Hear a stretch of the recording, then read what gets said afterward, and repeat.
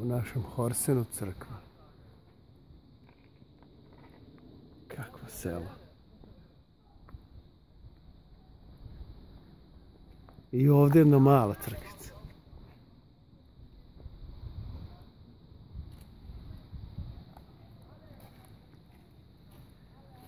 I stara kuća.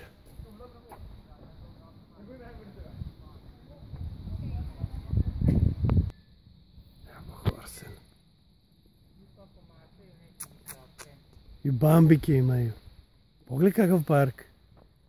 Bambi. A šta je ono tamo? Možda se i tamo. Ićemo li down the road?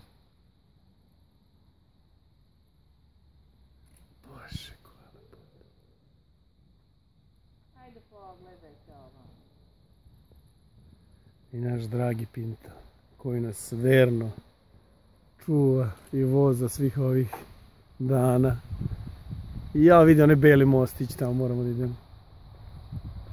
Arboretum Nehed Gog. Šta je ovo?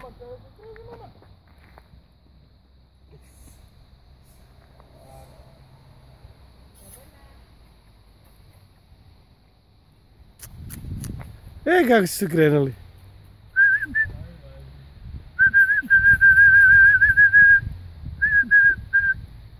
Pazi Bojana, zatvori vrata. Ti Branislav ne pomeraj se. Gde ste konjići? Što su ovo poni sve neki? Pa Sve ponice. Nah, shutting down. It's Što, crkati? Ej! Gde si? Gde si ti bebani? Kako je malecki? Gle ovaj kolicki je. To ponike sve. Ovo je poni beba. Evo dolaze svi na pojlo. Vidi, dolaze svi. Pa zdravo, pa lepi ste. A vidi ovaj mali. Ovaj gleda, on gleda od početka. On gleda odmah, ovaj čupavac. Pla. Billy Idol. Evo i mali ovaj dolazi, Bojane. Tesla, ujebote.